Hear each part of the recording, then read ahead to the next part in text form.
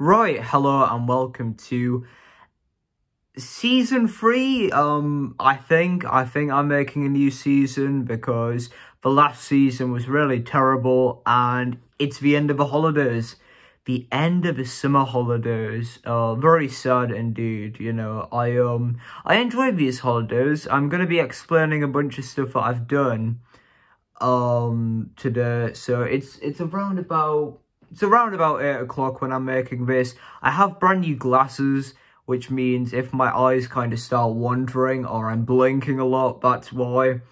Uh, but yeah, welcome to Season 3, everyone. Hope you guys are doing well, staying happy, healthy, and safe.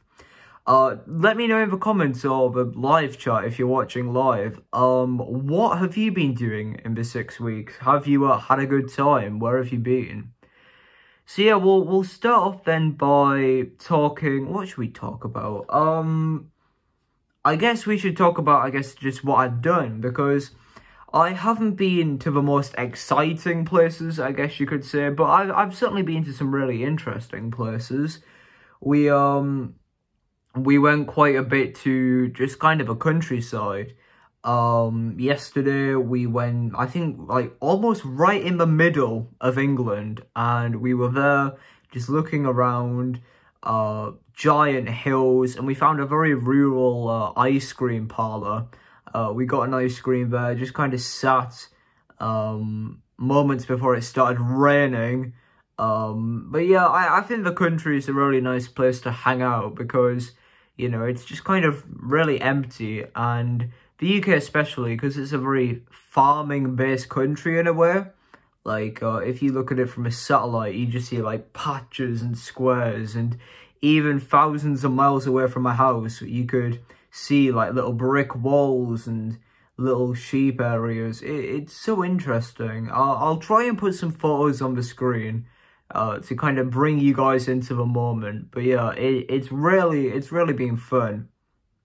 Now, we haven't just been inland, we've been uh, on sea.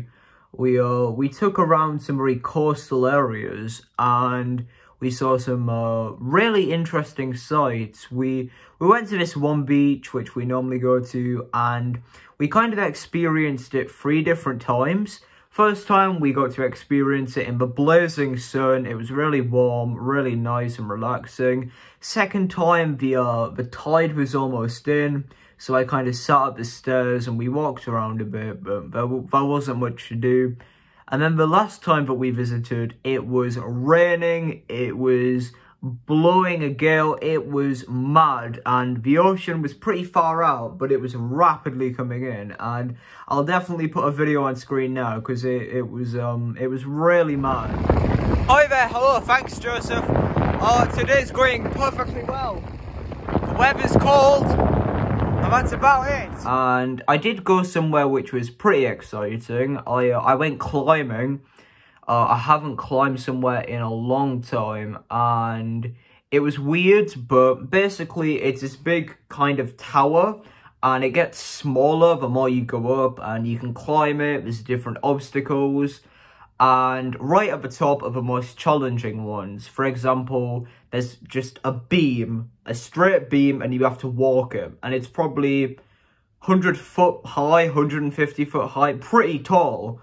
Uh, obviously you're on harnesses, so you, so you won't die, but it was uh, pretty weird. And I rushed straight to the top. I didn't even give the other floors a chance. And I walked across the beam before anyone else. And as soon as I did that, my fear just shattered in half and I started doing everything. So I guess that's a good life lesson, you know, face your fears because if you do, every other little worry will just vanish out of your sight and you'll you'll just be left with uh, the good ones, I guess. Now, obviously the country, the beach, uh, those might seem like kind of boring or typical places to go, but to me, I, I like them. I like kind of just being in the moment and enjoying stuff. That's why um I, I don't like taking photos of everything. And I've learned that uh, kind of the hard way where, you know, it, for example, when people are on holiday, they try and photograph everything. And then when they're done with the holiday, you feel like the only thing you've done is take photos. And um, actually being in the moment. And it, it is, it's kind of good in a way because maybe you could look back on those photos, but if the only thing you're remembering of a holiday is that time you did this um, by taking a photo, then you've you obviously haven't remembered it very well. Um, so I've tried not to take that many photos. I I haven't been out every day. We've uh, had plenty of days where, especially due to the weather, we've just been stuck inside. And I've been playing a couple of games. Uh, I got back into Pokemon Go, which I know people are probably going to laugh at me or tell me that the game is dead. I completely disagree. I think Pokemon Go is a great game and it's gotten me out it's gotten me outside. Um, normally I only go on like one dog walk a week.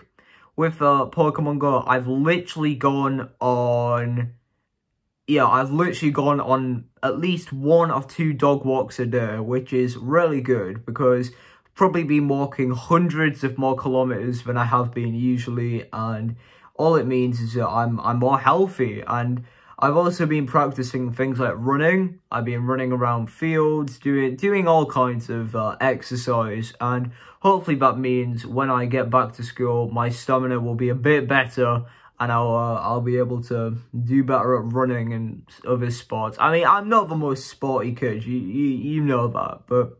I, I definitely do enjoy trying to improve myself in certain elements. So yeah, um, that's what I've been doing. Uh, I have been doing other things, and I'll talk about that in a minute, but yeah, I just want to take a moment to kind of talk about some other issues. Uh, for example, the pandemic. As you all know, COVID is still a thing. And I don't want any of you guys to be silly, you know. I don't want any of you guys to um to be dumb. Uh, you know, we, we're going back to school, you know, I'll be in year 10, but I don't want any of you guys to completely forget the idea that COVID is a thing, because it it is. COVID is still out there, and you see all of these raves and stuff like that, and some of them you have to be vaccinated to attend a rave, uh, or whatever it is, but for others, you know, anyone can go, and that's a very serious thing, because if you're not vaccinated, you can pass COVID to anyone. Even if you're vaccinated, I, I know plenty of people who have got both vaccines and have still caught COVID and suffered symptoms. The vaccine's not a cure, it's just a way to stop others from getting it. So yeah, be careful everyone, you know.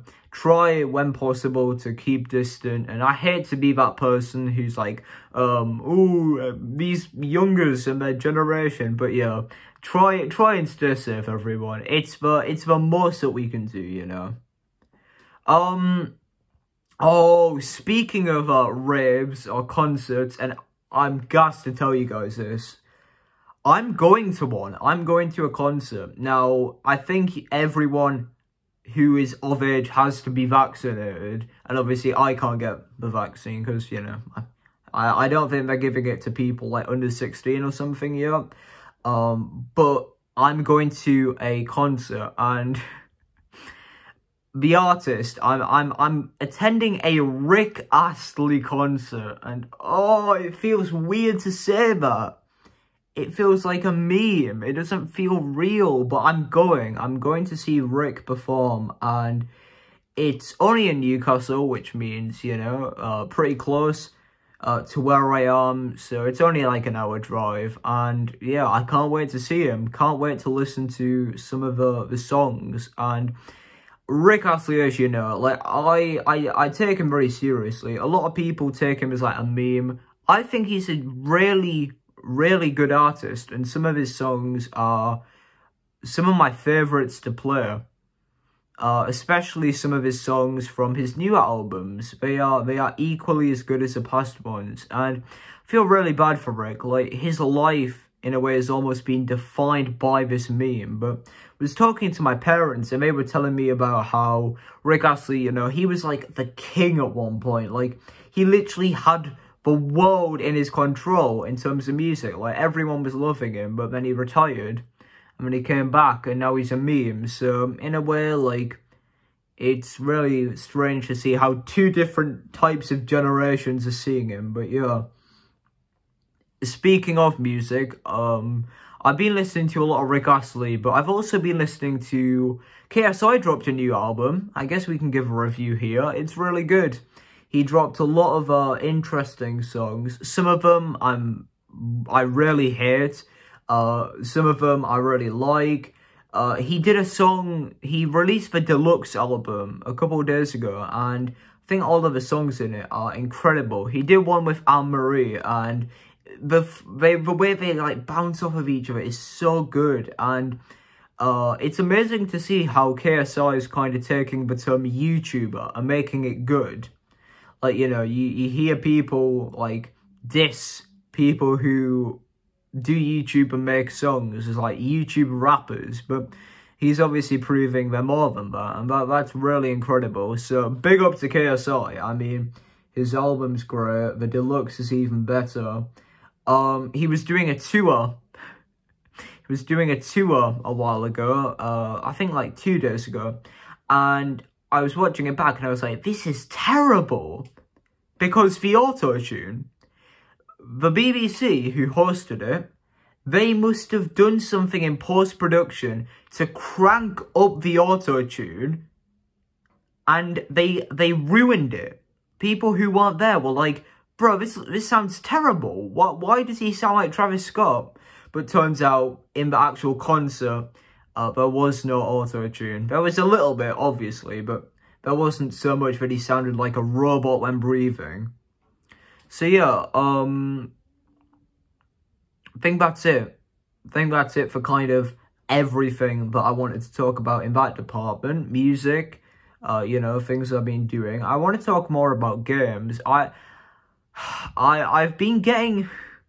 I've been getting into Granny, and before you all mock me for being a four-year-old, I kind of play it ironically, in a way. I kind of play it as a joke because it's such a meme game. Like, the concept is just so weird. Like, oh, there's this old woman who chases you around. Like, the concept is so brilliant, and it's such a buggy and bad game, but like, you can just enjoy it. And same with uh, another game. I've been getting into a game called Racing Bros, and it's by this dev company, and they sponsored me, technically. They actually sponsored me they gave me a free copy of one of their games. So in a way, I actually had to endorse their product in a way. Um, but no, so basically, um, basically, I've been getting into Granny, and it's been such a meme game, and I made Minecraft mods for it. Uh, I don't think I can put any images on because they're all from my streams, but yeah, I've just been getting into some of the most random games like Granny and I, I was even at one point playing Among Us again. And then there was Fortnite Among Us, which was really fun. So yeah, I've been playing a lot of random games. And yeah, um, I, I think the thing that I'm trying to do at the moment is um mod minecraft because i've been getting into minecraft a bit i've done a brand new season of my minecraft uh, world uh, season two, uh, and the theme is Ice Age. And I've been getting into like modding, making like custom weapons. I even started playing an Anarchy realm again. And today, a hacker came in gave everyone a bunch of free like boxes full of like mad items. So tonight on GMC Arts, we're going to have a party celebrating uh, getting all of them. But yes, yeah, speaking of GMC Arts, um, Sorry, I needed a good transition for the, the intro. Speaking of GMC Arts, um, something incredible happened. We got streaming back. I don't know why, but YouTube finally replied to my email. I don't know why I'm getting like really close now. YouTube finally replied to my email. I messaged them on Twitter about 50 times. Eventually, we, we had something going. They were like, well um, you're a kid, you know, we we can't exactly give you streaming privileges because you're a kid. And I was saying, well, actually, according to your own policies, I'm not a kid. And then we were like, oh, okay. And then they, they, they let me stream again. They gave me, uh, they unblocked my 100 subscriber stream, which was wrongly flagged. It was flagged by a random person and according to them, it was wrongly flagged. So whoever that random person was, you're a waste, man. And you, you, you made me have to make a brand new channel just to stream again. Um, so yeah, GMC Streams is technically dead now. Uh, I will never be returning to it, I don't think. I think I might turn GMC Streams into, like, the second channel, if you know what I mean. Like, a, a proper second channel. Like, I'll just upload, like, random videos and clips on it. Um, because GMC Streams, you know, I didn't even plan on making a second channel. It was meant to be like a reaction channel at one point, but I realised my reactions are really boring, so yeah.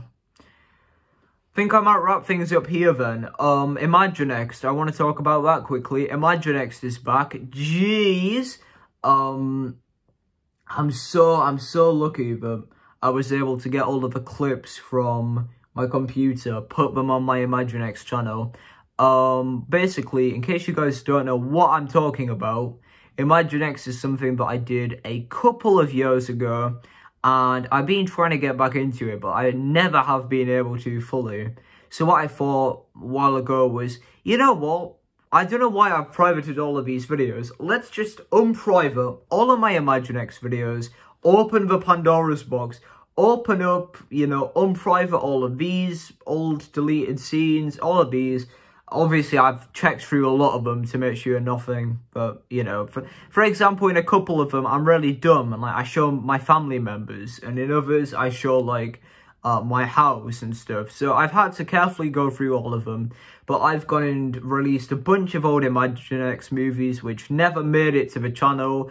I've released a lot of uh, gameplay videos for Happy Wars. So you guys can get to see my, uh, my amazing gamer skills and a lot more. So yeah, if you guys want to see some of my old Imaginext videos, or you want to watch the whole thing, uh, again, 480 episodes of Imaginext movies plus a bunch of extra. Go over to that channel, it'd be greatly appreciated. But yeah, that's basically it. Now, I'll talk very quickly about one more thing, and that's, um, I mean, I mean, the thing that I wanted to talk about was just kind of like, again, kind of what I said at the start, like, be careful, you know. We're, we're going back into school in the UK now, and my school is not doing any of the COVID regulations. We're not doing uh, masks anymore. Well, you can, but probably most people won't, um, including myself, because I've had to wear them for a year now. I am sick of it, but obviously, if we're in close, like, contact, I'll have to wear one. So yeah, just be careful out there. You know what I say at the end of all of my videos. Stay happy, healthy and safe. I mean it. It's not just a saying. Like, I, I do mean it. I want you guys to stay happy, you know, stay healthy and stay safe. And I didn't steal that from Dr. Mike. It's my own original saying. But yeah, take care everyone. Have a great one. Thank you for watching Season 3 probably won't be very active with these podcasts if I'm being honest. I, I'm going to be doing other things. But yeah, take care. Goodbye.